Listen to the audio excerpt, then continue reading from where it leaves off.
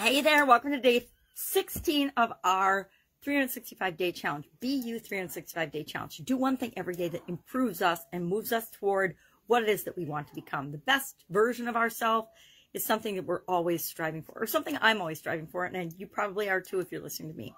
So the SOAP framework, we are on the P today, so I call this PP Life because we're going to talk about the P for progress in the SOAP framework, and we're going to use a tool called the Lifeline process to uh, share this. Now, I learned about this, I was probably, it was my first job out of college, is the first time I actually remember using the lifeline process. Now, it's a lot like a timeline. Remember history class where we all had, and we would see and learn timelines of events, like think of the different types of dinosaurs, or think of the periods of man, different developmental uh, stages of mankind, or I guess that's more biology or uh, but it's also history or history, the history of wars, you know, the different key events that happened that led up to, cause, and during a, a battle or war.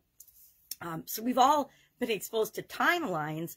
Well, this tool is called a lifeline. And the only difference is we're going to graph our own personal life. So here's an example of a timeline I started and did for myself. And on it, all we do is we put our birth date on the far left-hand corner and then on the right, I like to put a continuous arrow because I don't plan on dying anytime soon. And then I put the current year and I leave a little space to add on as events happen in this current year. Now, this is my one from last year. I haven't done today's or this year's yet, but I will.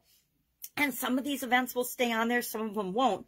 But what we're going to do is we're going to look for, especially with respect to our physical life, and and focus on the thing that we're working on as we go through the SOAP framework, as we look at the physical challenge, the thing that we want.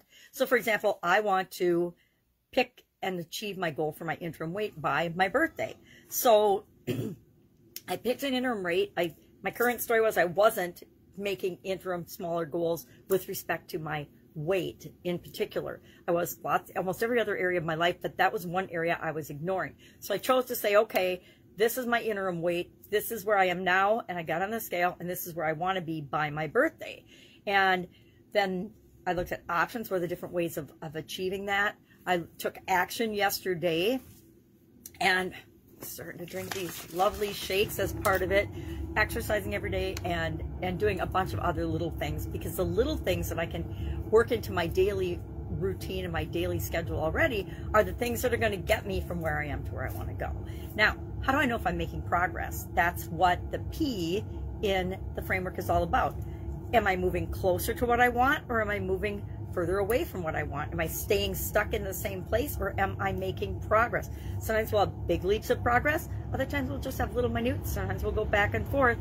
It's different. All of our experiences are different. So this timeline exercise, you just make a timeline of the key events in your life. So I will make one today. And as far as my physical life goes, I will put in the key events and experiences in my life where it had something to do with my weight, where I probably, where I was heavier, where I was at my ideal weight, where I was less than my ideal weight. That I've actually had a couple of experiences like that, etc. And I will graph that all out and I will look at it. And what am I looking for?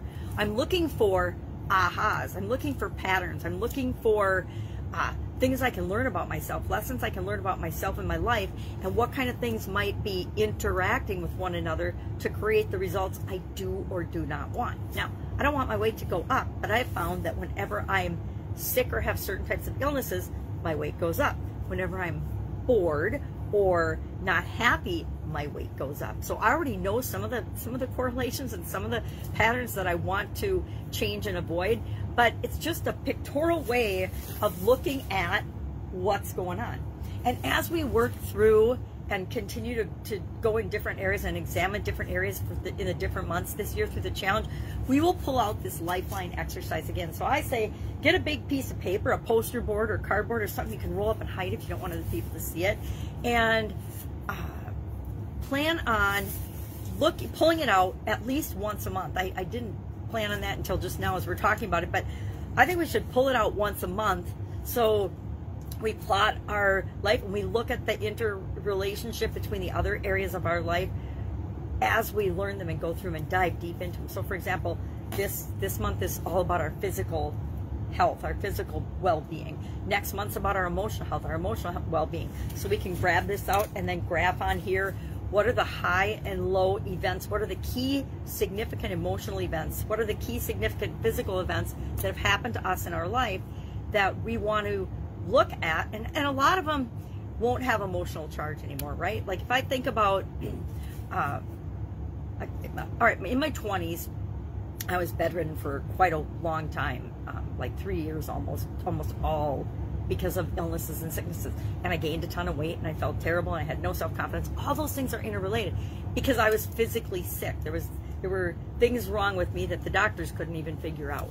So that would be a, a, period on my on my time frame where my weight would be higher, but I also know that it was because I was physically sick. Both of those are physical type things, but they're also impacted and interrelated to all the other areas and aspects of my life, right? If you're bedridden, you're not working, so your finances are low. Luckily, I was young enough that I could have my parents be helping me and supporting me. Not everybody has that uh, situation where they do have support when they're sick. So that's our action item today. Get a piece of paper or a piece of cardboard or a poster board or a dry erase board I used to do mine in my office. I had a great big office. And so I had a special room where I just could fold the board shut and I just had my lifeline on there and I just drew out my lifeline and then I could dry erase, I could move stuff, I could erase stuff, I could add and take things away and I did that for a couple of years but then uh, moved to a different office and didn't have that, that private space anymore and I everybody doesn't need to see my lifeline it's, it's only about me learning about and understanding myself better so do this and then all you have to do for your action item today is share one thing. excuse me, cloggy throat from that shake. In the comments that you learned or how you felt about doing the exercise. Have you ever done it? Just share one thing about the exercise. Or if you think it's poppycock and it's dumb and you don't want to do it, that means you need to do it. I've learned that whenever I think something is, I already know it or it's not going to add any value to me, and when I'm pushing against and resisting it, it's because that's my subconscious telling me that I don't want to do it. Well, I don't want to do it because I need it. I need to do it the most. That's how it works with me anyway. So, timeline, list events that were important to you or are important to you with respect to your physical life and well-being. And physical is actually one of the easiest to do because it's things that actually happen to and involving us. So those things are easiest to map out. That's why I like to start with the physical things. Okay, what are the things that really, events and physical things that happen, you know, maybe puberty, menopause, uh, you know, whatever you want to put on your timeline is up to you. But start graph out. Doesn't have to be neat. Obviously, neatness does not matter or count, right? I've got lifelines drawn in all kinds of my little notebooks. Don't even have my notebook. Here we go. All my little challenge notebooks. I have a, at least one timeline every for I have at least 10 timelines drawn out in there. And I've used this one just as a basis to start to say it starts out not so bad, but as you grab points on for different areas and aspects of your life, it gets really messy. But that's life is, right? Life can be very messy. Any questions? Ask. Please ask, because this is a fun exercise. I'm sure that you could Google it and learn about it, but if you just want the shortcut answer and you have a quick question, just ask. And I'll be glad to answer it because chances are if you have that question, somebody else does too. Have an awesome day. Have fun with this exercise, and I will be with you tomorrow.